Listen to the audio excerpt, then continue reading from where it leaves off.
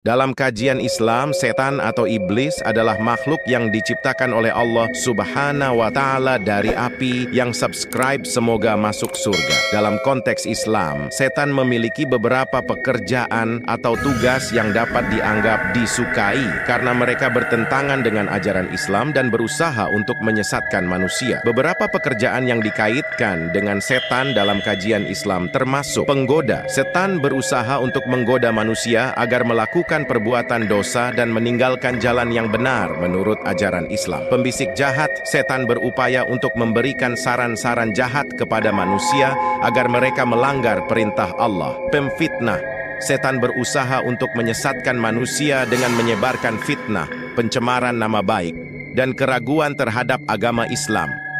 Pemisah, setan berusaha untuk memisahkan manusia dari ketaatan kepada Allah dan menghalangi mereka dari ibadah serta amal kebajikan.